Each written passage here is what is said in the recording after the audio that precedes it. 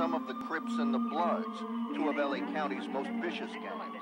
L.A. police are getting their orders as they prepare for another assault on street gangs. Avenue, but that was before the Los Angeles Police Department declared war on street gangs in the city, and before a shooting Wednesday night in left two low. All right, all right, hold on. Let me just, let me just ask you a question. Why are you guys Bloods? Why are you in the gangs?